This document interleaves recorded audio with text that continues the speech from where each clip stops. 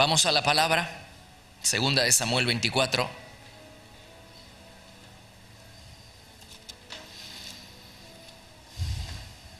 Quiera que Dios sea honrado con la palabra en esta tarde.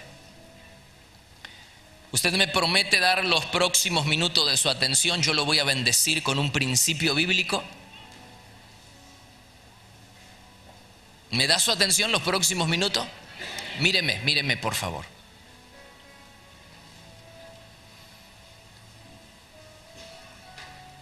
Les estoy a punto de revelar un principio bíblico descuidado, desatendido, que no, hemos, que no estamos acostumbrados a practicar en este tiempo. Yo le voy a descubrir a la luz de la palabra un principio que conocían los patriarcas y que conocían personas como David que conquistaron el corazón. ¿Cuántos quieren conquistar el corazón de Dios? A ver, yo mire, estoy clamando, orando, clavando rodillas todos los días porque quiero, quiero ser uno de aquellos que conquista, que pone contento. ¿Cuántos quieren poner contentos a Dios? Hay personas con las que Dios se siente contento y personas con las que Dios no se siente contento. Yo quiero ser una de esas personas que pone contento a Dios. David era una persona, David era una persona que conquistó el corazón del Padre. Entre otras cosas, David practicaba un principio espiritual que nosotros hemos descuidado a lo largo del tiempo. ¿Cuántos están dispuestos a recibir este principio? Segunda de Samuel 24. ¿Qué practicaba Pastor Sinali? ¿Qué practicaba David? Dice David se dio cuenta de que había sido un error haber contado a toda la gente. Hizo un censo que Dios no quiso. Así que dijo, Dios mío, no está bien lo que hice. Yo te ruego que perdones mi error. Dios le dio a Gad, Gad era un profeta, un mensaje para que se lo diera a David. Dios le dijo a este profeta, ve a decirle a David que lo voy a castigar. Entonces Dios envió una enfermedad por todo Israel. El pecado de un hombre afectó la salud de toda una nación. El pecado de un líder afectó la salud de toda una nación. David dijo, Dios mío, yo fui el que hizo mal. Por favor, no castigues a mi pueblo. Dios envió a David este mensaje, ve y construyeme un altar en el lugar donde Araúna, Araúna era un hombre que tenía una propiedad en el mismo lugar donde Abraham había sacrificado a su hijo o donde intentó sacrificar a su hijo Isaac. Dice, ve y construyeme un altar en el lugar donde Araúna limpia el trigo.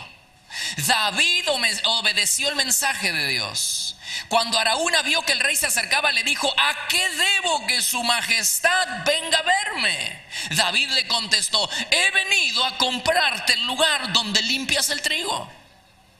Quiero construir un altar para Dios. Quiero adorar ahí. Araúna le contestó, su majestad, todo lo que tengo es suyo. Este, este conocía el principio de la honra, ¿no? Todo lo que tengo es suyo. Presente las ofrendas a Dios y yo le daré los toros para el sacrificio. Yo le doy a usted todo esto y deseo que Dios acepte la ofrenda, el sacrificio, la adoración que usted le va a dar ahora.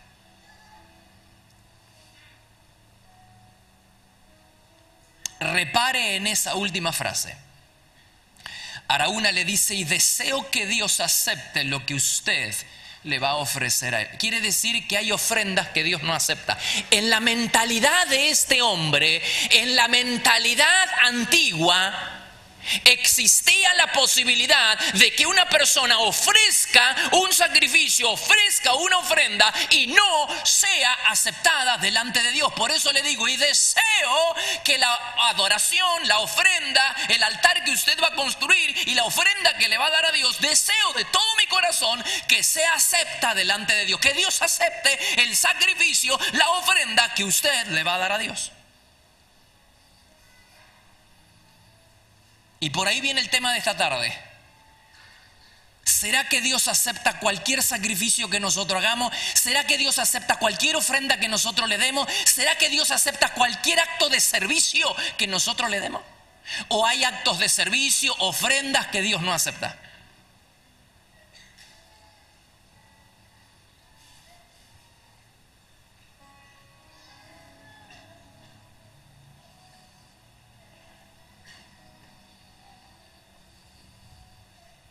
Mire lo que le respondió David.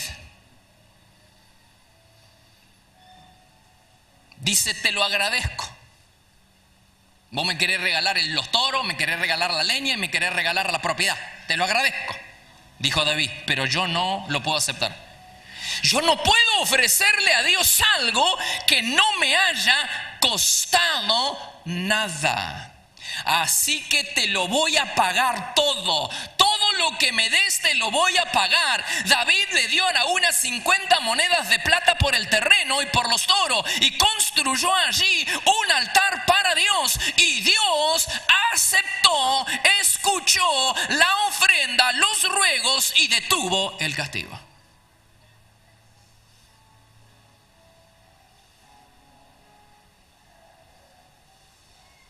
¿Será que Dios acepta cualquier ofrenda que nosotros hagamos para Él? ¿Será que Dios acepta cualquier acto de servicio que nosotros le entreguemos? ¿Será que Dios acepta cualquier acto de adoración, de sacrificio que nosotros hagamos? David entendía un principio bíblico que hemos descuidado a lo largo de todo, a lo largo de todo este tiempo.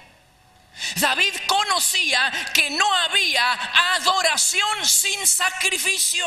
Él entendía en la mente de aquellos que conquistaron el corazón de Dios estaba que Dios no es que acepta cualquier ofrenda, sino que Dios acepta la adoración que implica un sacrificio. No hay adoración, no hay adoración sin sacrificio. Tiene que haber un sacrificio en mi adoración.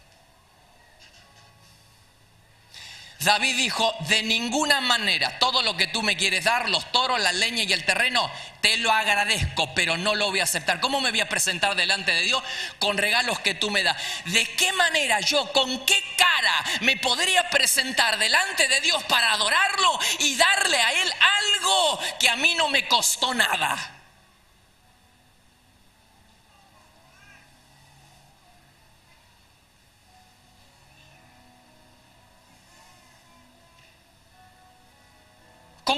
Yo me presento delante de Dios y decirle, acá está mi adoración y mi ofrenda? Y le doy algo que a mí no me costó nada.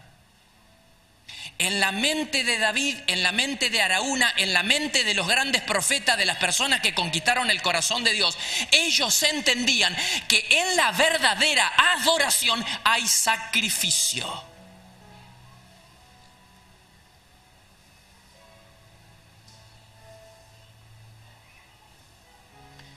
Si la ofrenda no te cuesta nada, no es adoración. Pastor, quiero que me lo pruebe bíblicamente. Empezamos con David, seguimos con Abraham. Cuando Dios le dice a Abraham que vaya y entregue a su hijo Isaac él toma a su hijo Isaac, toma la leña y toma el fuego.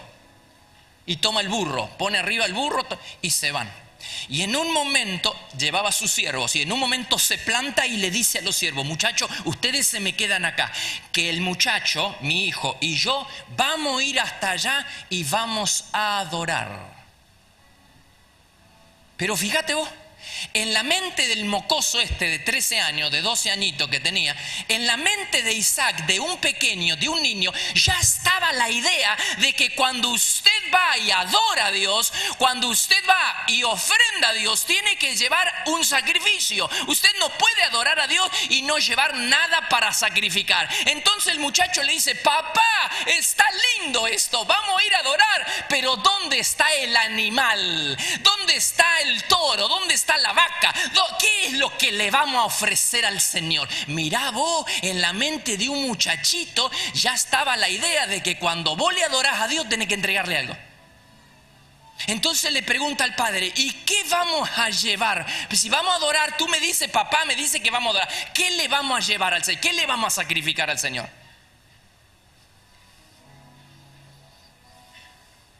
Y Abraham dice, ustedes se me quedan acá que nosotros vamos a ir a adorar.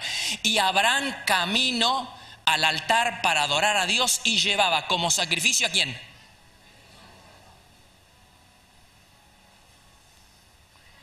no le estaba dando a Dios, no le iba a dar algo a Dios que no le haya costado. Le estaba por entregar el hijo por el que había orado 25 años, el único hijo, el heredero la persona, el, hijo al que tanto amaba, al que tanto esperó, por el que tanto oró, a él, es decir, no iba a presentarse delante de Dios con algo que no le costaba. Él dijo, vamos a adorar y su sacrificio era su propio hijo. Wow. David dijo, de ninguna manera, si vos me vas a dar los toros y me vas a dar la leña, yo te la voy a pagar. Yo soy el rey, tengo autoridad, pero no importa, yo delante de Dios no me puedo presentar con algo que tú me des yo te lo voy a pagar. Porque en la mentalidad de David no había adoración sin sacrificio. En la mentalidad de Abraham era exactamente lo mismo. ¿Cómo me voy a presentar delante de Dios sin un sacrificio? Y él llevaba como sacrificio lo mejor que tenía. Su propio hijo.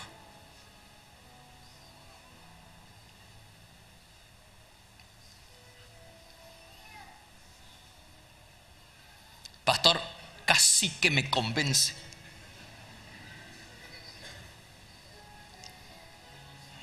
Primera de Samuel capítulo 1 versículo 23. Dice, y Ana, Ana era la mamá de Samuel, del profeta Samuel.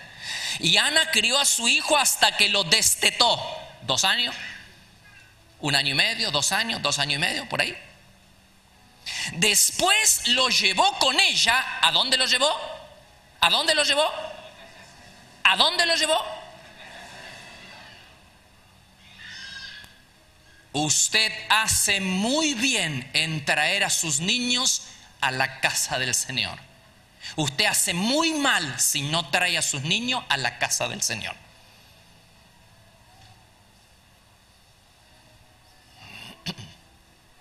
Es que mi hijo es un revoltoso de aquello, es un mocoso, se te sube por acá, se te sube por... Tráigalo acá. Usted lo trae a la iglesia. En esta semana estamos abriendo, ya no entran en el Zoom viejo donde tenemos todos los niños, entonces estamos abriendo una puerta para conectar los dos Zoom. De modo tal que podamos trabajar con niños de mejor manera porque ellos se lo merecen, porque Dios tiene que recibir honra. Así que vamos a trabajar con los niños en los dos Zoom.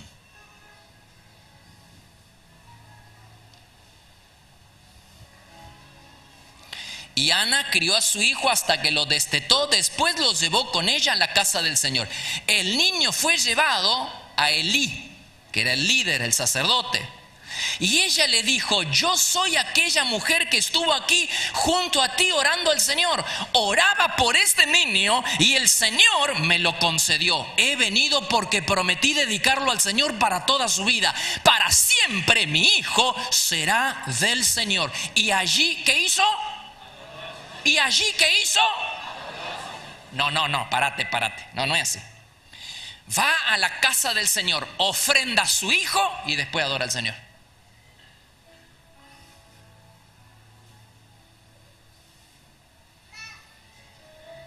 David dijo, de ninguna manera yo me puedo presentar delante de Dios y adorarlo con algo que tú me estás regalando. Algo me tiene que costar. Abraham dijo, vamos a adorar y llevaba como sacrificio a su propio hijo. Ana fue al templo y adoró y dejó, llevó como ofrenda su propio hijo. Ana no tenía otro hijo. Era el único hijo que tenía por el que había orado tanto tiempo. ¿Ustedes saben lo que debe ser para una mamá desprenderse de un niñito de dos añitos, dos añitos y medio? Debe ser difícil desprenderse de a cualquier edad, ¿no? Pero no es lo mismo desprenderse de un niño cuando tiene un día, desprenderse de un niño cuando tiene dos años y medio, que ya está en casa, que empezó a hablar, que te dice mamá, que te dice papá, que te dice dame, que te hace monerías y que te compró, y de buenas a primera vos comenzás a vestir al, al niño. Yo me lo imaginé, ¿no? Hay mujeres extraordinarias, hay hombres extraordinarios. Esta mamá vistiendo a su niñito, a Samuel, hijito querido, venga para acá. Y habrá lavado su ropita y la habrá planchado. Y vestía de la mejor manera a su niñito de dos añitos y medio y le dijo, hijito, mi hijo, ahora nosotros vamos a ir para el templo. Y usted se me va a quedar allá porque yo lo prometí al Señor. Y usted, yo lo voy a consagrar al Señor. Y usted se me va a quedar en el templo y va a amar al Señor y va a servir al Señor. Y mientras la mamá le explicaba todo eso, me imagino a Samuel preguntándole, mamá, ¿por qué yo me tengo que... Yo quiero estar con vos. Se te parte el corazón. Y la mamá preparándole la mochilita y poniéndole algunas cositas, porque no es como ahora que vos podías visitar al, niño en el templo que te hace un vuelo de una hora, no, no, allá una vez por año la veía, veía mamá Ana a su niñito una vez por año. Así que le habrá preparado la mochilita, le habrá preparado la ropita, lo habrá vestido de la mejor manera y le habrá dicho a Samuel, mi hijo, ahora nosotros vamos para el templo. ¿Qué mujer, por favor? ¿Qué mujer? ¿De qué adoración me habla usted a mí? ¿De qué adoración yo le hablo a usted que le damos al Señor si le estamos dando algo que no nos cuesta nada? Cuando nosotros decimos venimos al templo a adorar, ¿qué significa cuando nosotros decimos entre nosotros vamos al templo a adorar el domingo y lo único que traemos para presentarle al Señor son algunas míseras canciones que a veces ni eso, unas canciones apáticas que languidecen porque a veces hay gente que ni eso le da al Señor y, y vamos a celebrar al Señor.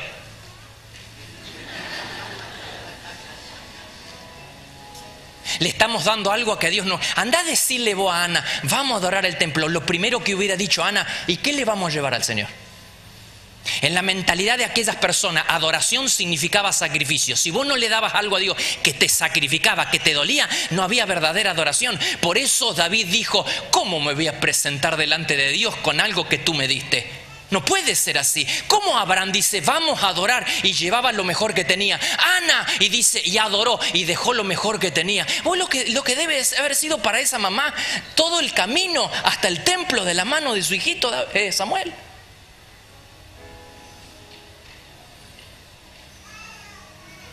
Qué mujer extraordinaria que cumplió el voto que le hizo al Señor.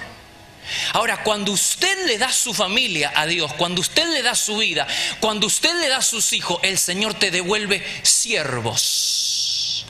Porque Dios le devolvió a Ana el gran siervo, el Samuel, el profeta más grande que tuvo. Cuando tú le consagras a Dios lo que tiene, Dios te lo bendice, te le devuelve bendecido. A diferencia de, los ídolos del mundo, cuando usted se presenta a San la Muerte, al gauchito Gil o a cualquier otro ídolo, Él no te bendice, Él te destruye la familia. Lo que vos da te lo quita, Dios te lo devuelve y te lo devuelve bendecido.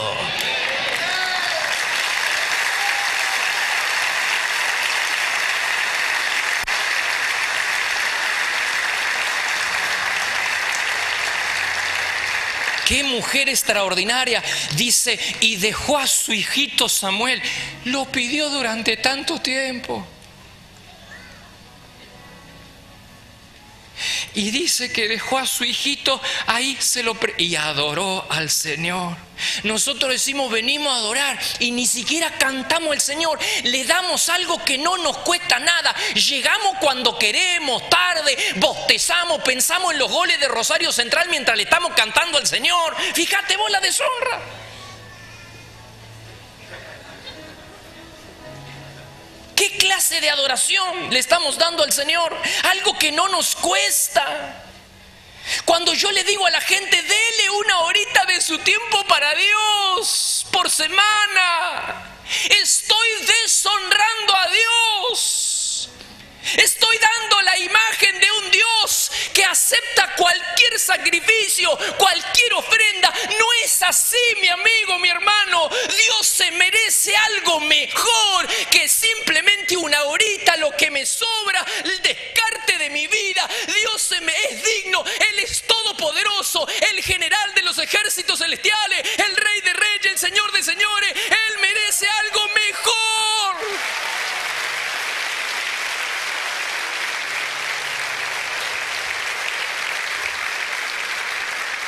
¿Cuántas he deshonrado al Señor diciéndole a la gente, dele por favor? Dele una horita como si Dios es un mendigo que acepta cualquier ofrenda, que acepta cualquier acto de servicio. Yo le voy a demostrar a usted acá, bíblicamente en esta tarde, que no toda ofrenda es aceptada por el Señor, que no todo acto de servicio que yo hago para Él, Él va a aceptar. Tiene que ser lo primero y tiene que ser lo mejor. Vamos, una horita. Si su horita que le va a dar el Señor es su mejor horita de la semana, Dios la va a aceptar. Pero si es lo último que le sobra, cansado por allá, después que fue al club, después que se tomó su cerveza y le ve y dice, bueno, ¿qué vamos a hacer? Y me queda una horita, voy a ver si se lo di al Señor. Dios no va a aceptar ese tipo de ofrenda. Y yo deshonro al Señor si le doy la imagen a usted de que Dios es un mendigo que va a aceptar cualquier cosa que usted le entregue. No es verdad.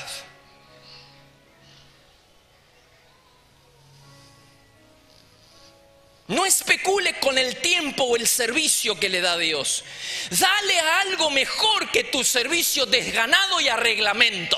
Mm, tengo que ir a la célula. Mm. Dale algo mejor que tu servicio arreglamento. Anda a la célula, vení al seminario, vení a la iglesia con alegría. Voy a encontrarme con el Señor. Haga como Obededón que bendijo su casa, lo bendijo. Él se fue, el arca de la presencia se fue al templo. Él se fue al templo, era músico, era portero. Él quería estar donde estaba el Señor porque amaba al Señor. Festeje, traiga una hermosa sonrisa, sirva a Dios con gana, no con apatía, desganado y arreglamento. No. Usted y yo servimos a Dios a través de la iglesia. Usted no sirve a... Yo no sirvo a la iglesia. Yo sirvo a Dios a través de la iglesia.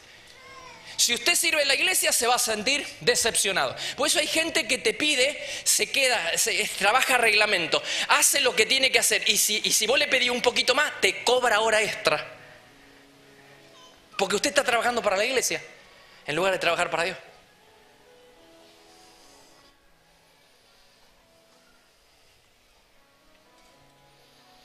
Dios no acepta cualquier cosa que yo le dé. ¿Cuántas veces hemos pecado acá? He dado la imagen, hemos dado la imagen acá arriba. ¿Cuántas veces hemos dado la imagen de un mendigo, de un Dios que acepta cualquier ofrendita que nosotros le damos, cualquier acto de servicio? Dele algo, algo es algo. Eh, dice, peor es, peor es nada. Lo que usted le dé, no, no, no es peor es nada. ¿Cuántas veces hemos dicho acá, si usted está por primera vez, no se sienta en la obligación cuando vamos a levantar la ofrenda y vamos a adorar al Señor? No se sienta en la obligación de darle a Dios. ¿Cómo que no se sienta en la obligación? Usted está acá, si usted está acá por primera vez, es porque vino a buscar de Dios. Dios lo trajo. Usted quiere honrar a Dios. Y es mi deber decirle que a Dios se lo honra, dándole lo mejor y lo primero. Yo no le puedo decir no le dé a Dios, porque si usted no le da a Dios no va a ser bendecido, ¿por qué Dios se va a tener que interesar en sus cosas y en su vida si usted no se interesa en las cosas de Dios y en Dios mismo? Yo, usted está acá y yo quiero que usted sea bendecido y tiene que saber que a Dios hay que darle lo primero y hay que darle lo mejor.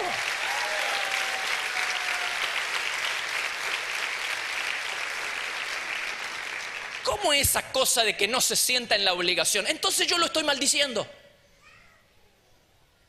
¿Qué imagen de Dios estoy dando?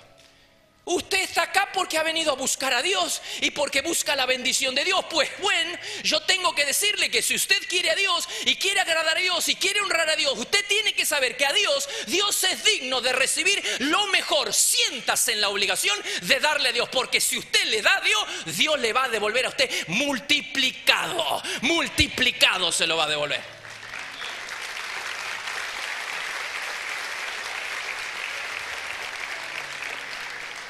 ¿Cuántas veces hemos dicho acá, no? Si usted no trajo nada para ofrendar, no se haga problema. ¿Cómo que no se haga problema? ¿Qué clase de adoración es esa? Es que yo no tengo. Nadie es tan pobre como para no darle a Dios.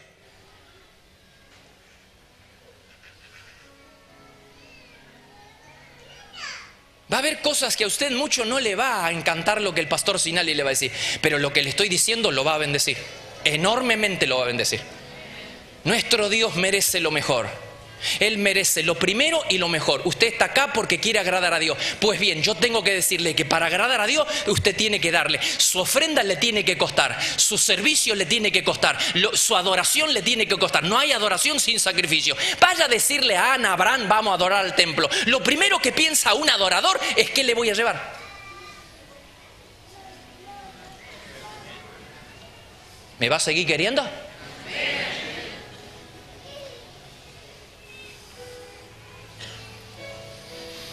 Filipenses 2.17 dice que nuestro servicio es una ofrenda. Ustedes confían en Dios y le sirven y eso es como si le presentaran una ofrenda. Tu servicio a Dios, ¿cómo es? Es porque es una ofrenda.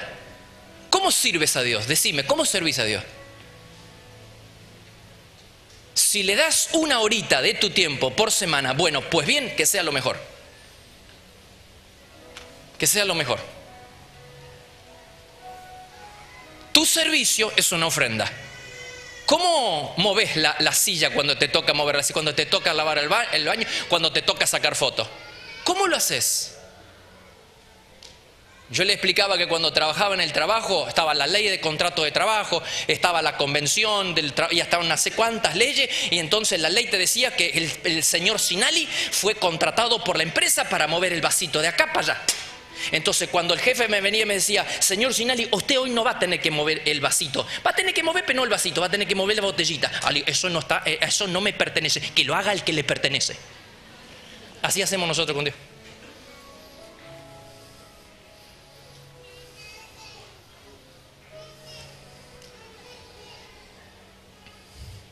Pecamos contra Dios cuando le damos, le ofrecemos cosas que no nos cuestan o cuando le servimos de mala gana o buscando un interés personal. Malaquías 1.13 dice, ustedes dicen es demasiado difícil servir al Señor. Qué difícil que ser líder, qué difícil que ser pastor. Es demasiado difícil servir al Señor.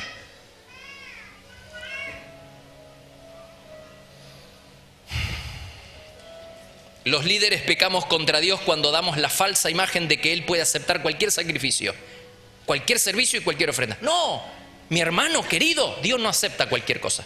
No es un mendigo. Decimos es mejor que nada. Y dejamos que cada quien deshonre al Señor. Bueno, dele algo para el Señor. Yo a veces pienso cuántas veces nos mofamos de las personas que hace 40 kilómetros para rendirle sacrificio a un ídolo. Yo también lo había hecho. Y hoy de este lado uno se mofa y se ríe, pero mirá vos, esta gente hace 40 kilómetros, sí, pero ellos están dispuestos a hacer 40 kilómetros para rendirle un sacrificio a sus ídolos y nosotros no somos capaces de cruzar la calle para hablarle a nuestro vecino en necesidad acerca de Jesucristo. Mira la clase de adoración que nosotros, mira la clase de Dios que nosotros tenemos, que no podemos hacer un sacrificio de cruzar la calle para hablar de Jesús. Ellos hacen 40 kilómetros para darle a sus ídolos su sacrificio. Nosotros no somos capaces ni de eso, ni de darle una adoración pensando en el Señor, ni cantarle, ni, ni cruzarnos la calle para hablarle a alguien acerca de... Mira la clase de Dios que tenemos, mira la clase de ofrenda que le presentamos al Señor. ¿Está enojado Pastor Ginali? Eh? No. Todavía no estoy arrancando recién.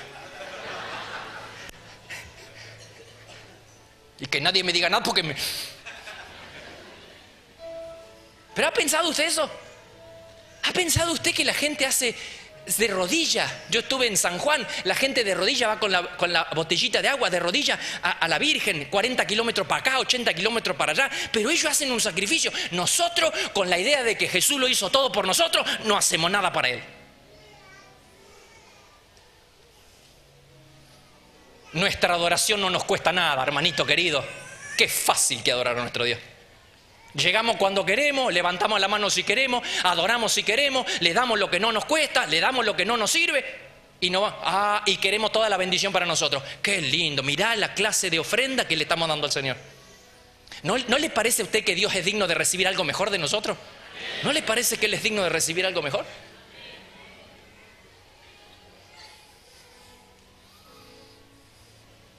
No pierdas el entusiasmo en tu servicio a Dios.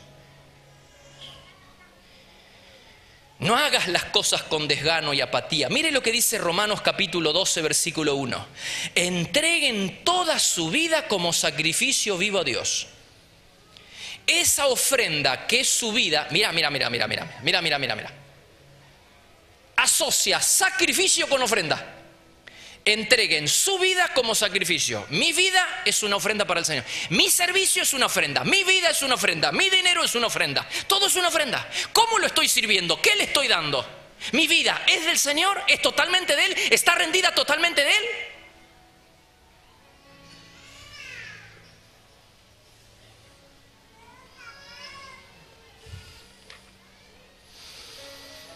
Malaquías capítulo 1. Estoy en el centro, lo mejor todavía no llegó. Malaquías capítulo 1. Usted tiene que leer en casa esta semana Malaquías. Prométame que va a leer Malaquías, va a quedar dado vuelta. Malaquías 1. Yo soy su padre. Léalo acá atrás porque yo lo estoy leyendo en diferentes versiones. Yo soy su padre y su amo. Y sin embargo, ustedes los sacerdotes, porque empieza con los sacerdotes, con los líderes. Los líderes tenemos que dar el ejemplo. Los líderes tenemos que ser los primeros en, ser apasionados de Jesús, en ser los primeros en que ofrendamos, en que diezmamos, en que no retaseamos nuestro servicio. Ustedes los sacerdotes no me respetan, dice el Señor, ¿no? Me tratan como si no valiera nada. ¡Ay, Señor! Ustedes me tratan a mí, dice el Señor, como si yo no valga nada. Mostraron su desprecio al ofrecer sacrificios contaminados sobre mi altar. Cuando ofrecen animales ciegos como sacrificio, ¿acaso no está mal? Y no está mal también ofrecer animales lisiados y enfermos. Intenten dar ese tipo de regalo que no sirve, lo que no vale, el chingueado, el que está lisiado, el que está enfermo, inclusive hasta animales muertos me traen a mí. Inténtenselo dar a, sus gobernantes. A si ellos se va a poner contentos. Intenten dar este tipo de regalos al gobernador y vean qué contento se pone, dice el Señor de los ejércitos celestiales. Adelante, supliquen a Dios que sea misericordioso con ustedes, pues, perdón, pero cuando llevan esa clase de ofrenda a Él, ¿por qué debería tratarlos bien? Dígame usted, díganme, le dice el Señor. Con la clase de ofrenda que ustedes me dan a mí, ¿por qué yo debería tratarlos bien a ustedes? ¿Por qué yo debería pensar en ustedes y en sus cosas si usted no piensa en mí y en mis cosas? Adelante, supliquen, supliquen por misericordia. Pero ¿por qué yo voy a tener que tratarlos bien con la clase de ofrenda? ¿Y qué le ofrendaban? La gente venía y le ofrendaba a los animales. Ellos tenían, la ley decía que ellos tenían que entregar lo mejor, el mejor animal, el que no tenía defecto, el que era perfecto. Sin embargo, ellos le traían el cojo, el lisiado, el ciego, hasta animales muertos. Ellos habrán pensado, bueno, un animal es lo mismo que otro animal. Al fin y al cabo lo voy a poner en la brasa y se va a quemar todo. No, no es es lo mismo. No acepto ese tipo de ofrenda, dice el Señor. No estoy nada contento con ustedes. Si me van a traer algo, que sea lo mejor.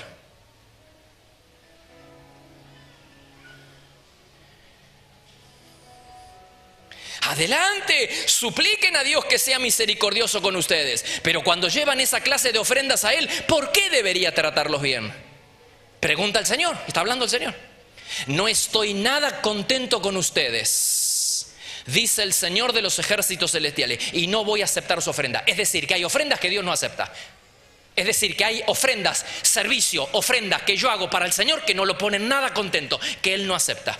Es mi deber decirle a usted que un poquito es mejor que nada, no es así. Y que cualquier cosa que usted le, dio, le da a Dios va a ser aceptado, no es así. Si no es lo primero y es lo mejor, no estoy nada contento, no voy a aceptar. En un momento la Biblia dice que me cierren las puertas del Dios dice que me cierren las puertas del templo, por lo menos para que nadie entre y me ofrezca esa clase de sacrificio. No acepto, no estoy nada contento. No me vengan con esa clase de servicio. ¡Wow!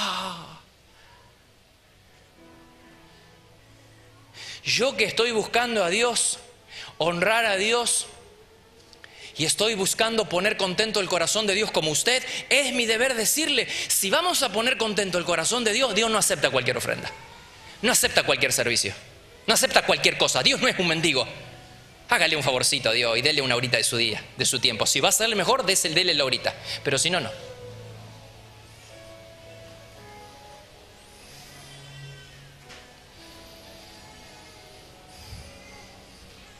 Cuando damos algo, calmamos nuestra conciencia, pero eso no significa que esté bien lo que estamos haciendo. Cuando usted trae de su casa una ropita, algo que, no que le sobra, que ya no usa, y usted lo trae a la iglesia como hago yo, Usted tiene que saber que trae esa ropita, que trae eso que ya está usado, o eso viejo, o esa mesita que ya no usa. Si usted la trae a la iglesia, es para que la iglesia haga obras de misericordia. Pero usted no caiga en el error de creer que eso es una ofrenda para Dios. Eso es inaceptable, es una deshonra para Dios. Será para hacer obras de misericordia, pero no diga que es una ofrenda para Dios, porque Dios no acepta lo chingado, lo feo, Él acepta lo mejor. Si va a traer una alfombra, compre la nueva.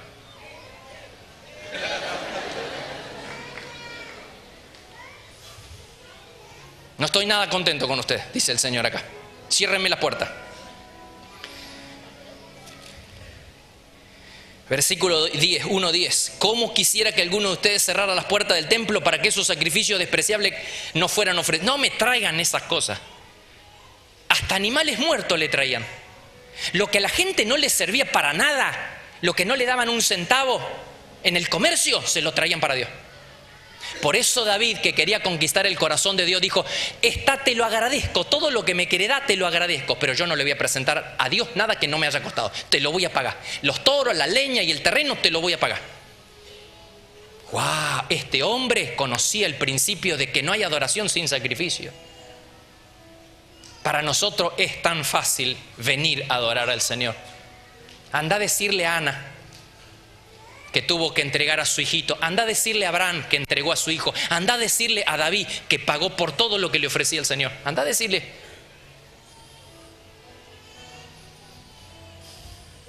Que un manto de misericordia caiga sobre todos nosotros, sobre mí primero. Fíjese una cosa. Ah, voy lo que le voy a decir ahora lo va a dejar.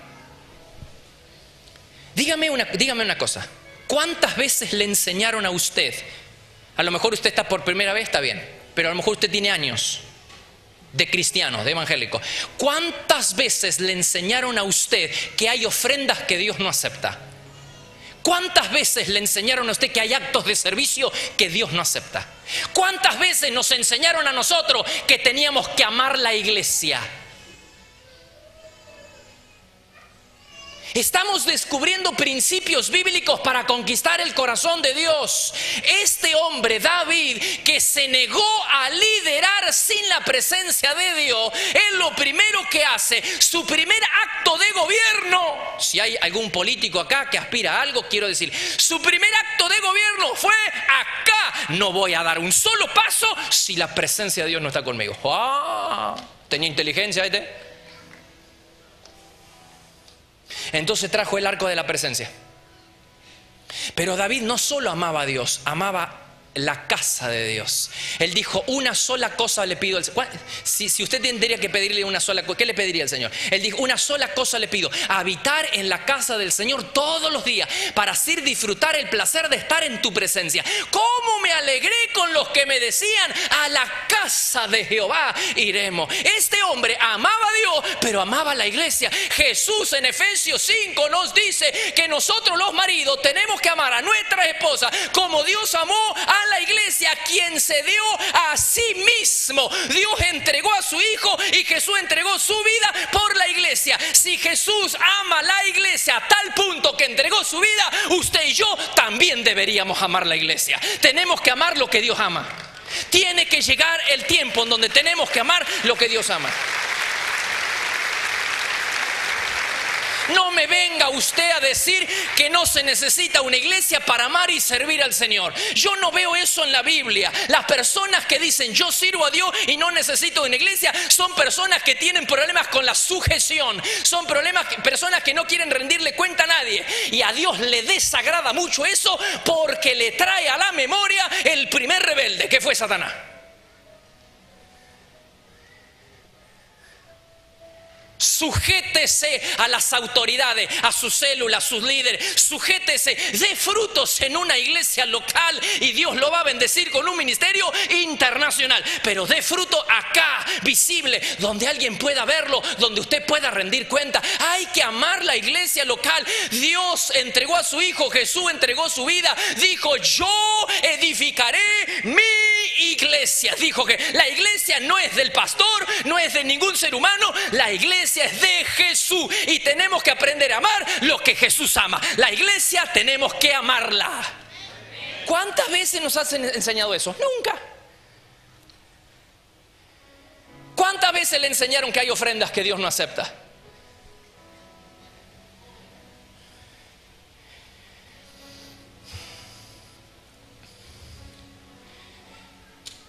Dios acepta un solo tipo de ofrenda, un solo tipo de servicio, un solo tipo de adoración.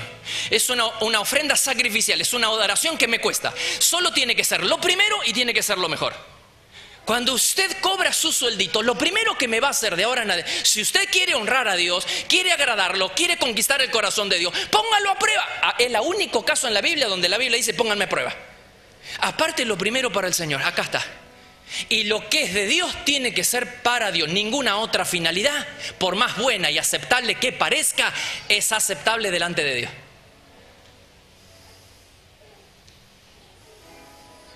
Practique las primicias. Nosotros lo practicamos.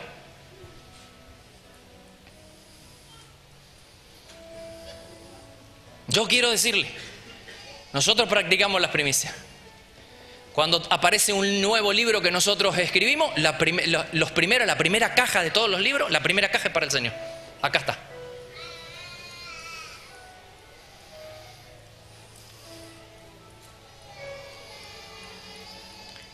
El pecado de Elí y de sus hijos fue que se quedaban con lo mejor de las ofrendas que era para Dios. Fíjense lo que dice 1 Samuel 2.29.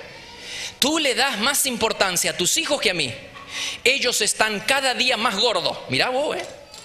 Porque se quedan con lo mejor de las ofrendas que el pueblo me trae. Está muy enojado Dios, porque los líderes de la iglesia se quedan con la ofrenda que la gente le trae para Dios. Ellos lo mejor se lo quedan para ellos.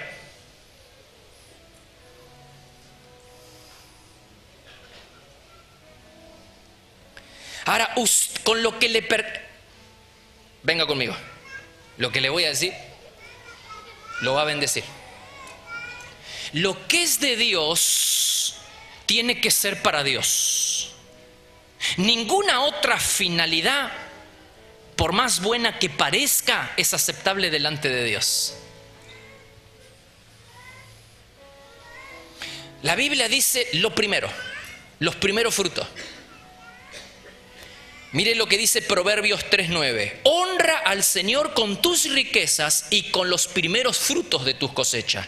La otra versión dice con lo mejor. A ver qué dice con los primeros. Eh, eh, esta versión dice, honra al Señor con tus riquezas y con lo mejor de todo lo que produce. La otra versión dice lo primero. Primero y mejor. Saúl, este hombre que lideró sin la presencia, en una oportunidad Dios le dijo que destruyera a todos los amalecitas. Los amalecitas era un pueblo. Eran los enemigos del pueblo de Dios, eran los enemigos de Dios. Y Dios le dice a Saúl que destruya a todos los amalecitas. ¿Saben lo que hace Saúl? Destruye, pero destruye todo lo que no sirve. Todo lo bueno, todo lo mejor, se lo queda para él. Mejor dicho, no se lo queda para él. Él lo toma y lo distribuye entre el pueblo. Dígame la verdad, ¿no parece una finalidad aceptable? ¿No parece un buen propósito? Dios le dice, vea que el pueblo que se llama los amalecitas destruye todo. Todo tiene que ser para mí. Destruye todo porque todo va a ser para el botín va a ser para mí.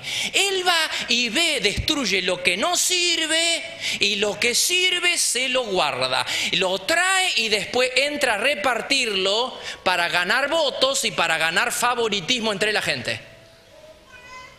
Dígame, no hay nada malo.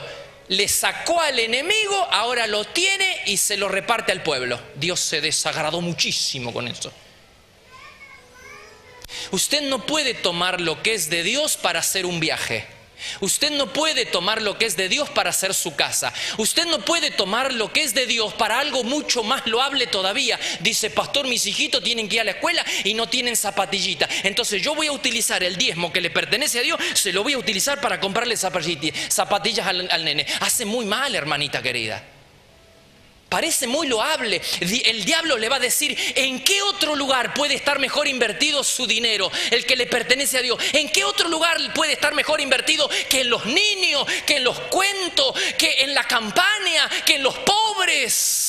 Que los ancianos, que los misioneros. ¿Dónde puede estar mejor invertido? El diablo le va a decir pura razonamiento diabólico y humano. Usted no haga caso a esos razonamientos. Lo que de Dios Jesús dijo, usted dele al César lo que es del César y lo que de Dios déselo a Dios. Lo que es de Dios, no importa cuán loable pueda ser la finalidad. Lo que es de Dios tiene que ir a Dios. Usted necesita zapatillita para su hijo. Yo quiero decirle que si usted prioriza a Dios, Dios no solo le va a dar zapatillas, le va a dar un vestuario entero para sus hijos y para su familia. Porque Dios es extravagantemente generoso.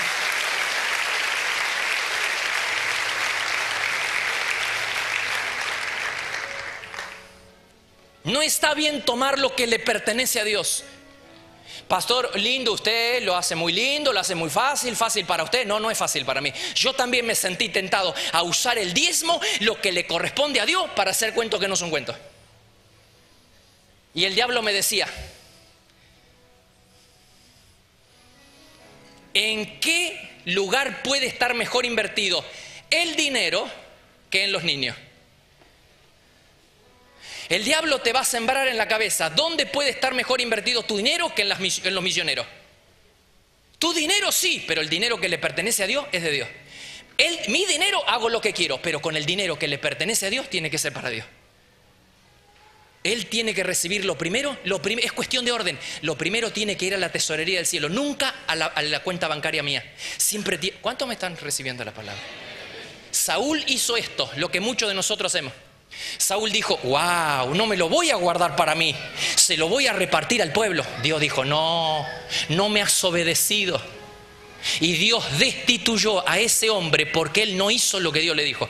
Este botín era para mí, no era para el pueblo.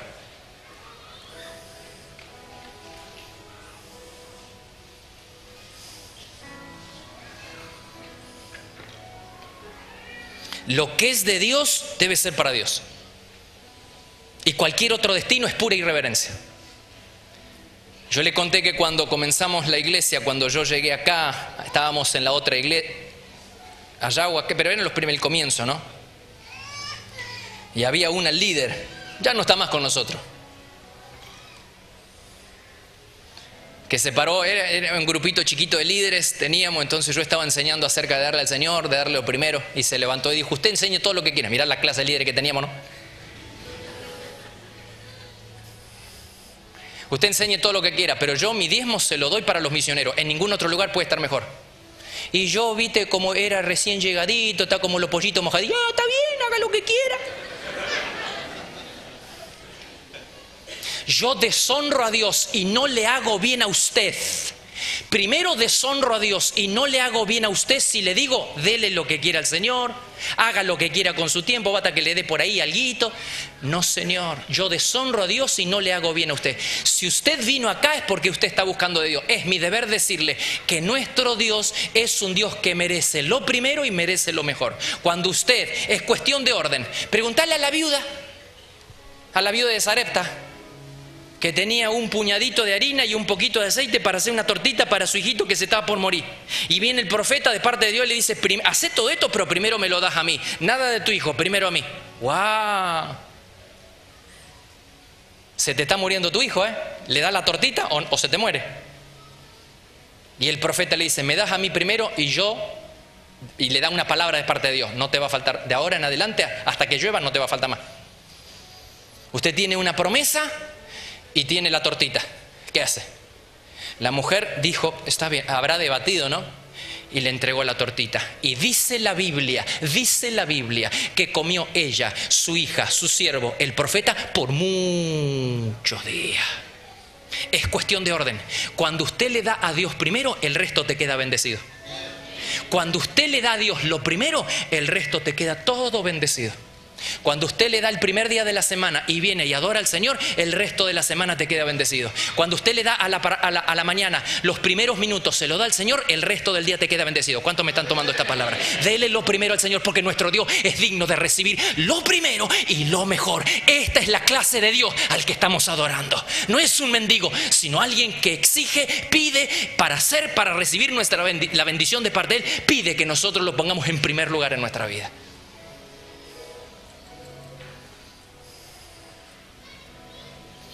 ¿Saben por qué razón Dios rechazó la ofrenda de Caín? En ninguna parte de la Biblia se dice que la ofrenda de Caín era mala. No era mala. La Biblia dice andando el tiempo. Abel trajo lo primero y lo mejor. Andando el tiempo lo trajo Caín. ¿Cómo andando el tiempo? Cuando vio que su hermano presentaba la ofrenda, él también quiso presentar la suya. Fuera de tiempo, nosotros hemos caído en la maldición de darle a Dios cuando queremos, lo que queremos, del tiempo que nos sobra, del dinero que nos sobra, y después queremos ser bendecidos por el Señor. Andan, le dice el Señor, pídanle al Señor que sea misericordioso con ustedes. ¿Por qué yo debería tratarlos bien a ustedes con la clase de ofrenda que ustedes me traen? Cierren las puertas del templo. y yo no acepto nada, no estoy nada contento con ustedes, no acepto la ofrenda. No me traigan el chingueado, ni me traigan el ciego, ni animales, tráiganme lo mejor. Hemos estado atados a la maldición de darle a Dios tarde, cuando nosotros queremos o cuando decidimos hacerlo. Este es un principio espiritual que le va a traer bendición, hermano. ¿eh? Te va, y pastor, yo vengo por primera vez. usted ya aprende desde, desde el vamos, está aprendiendo bien ya. Ya desde el vamos está aprendiendo bien. ¿Usted quiere ser bendecido? Y sí, pastor, vengo a la iglesia porque quiero a Dios y quiero ser bendecido. Es mi deber decirle, nuestro Dios es un Dios que merece lo mejor. Si usted le da lo mejor, está enormemente bendecido, usted y toda su familia.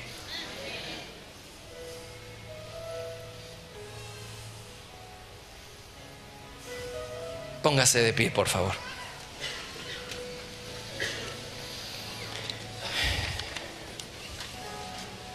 Romanos capítulo 12, versículo 1, vuelvo a leer. Dice, entreguen toda su vida como sacrificio vivo a Dios. Su ofrenda es su vida. Esa ofrenda, que es su vida, debe ser dedicada solamente a Dios. Mi vida es la mejor ofrenda que yo le puedo dar a Dios. Así como la vida de mi hijo, ¿no? No hay nada que nos cueste más a nosotros que entregar la vida de la familia, la vida de nuestros hijos. Sin embargo, Ana dijo, acá está, Señor te entrego a mi hijito. Y dice la Biblia que Dios, le dio cinco hijos más.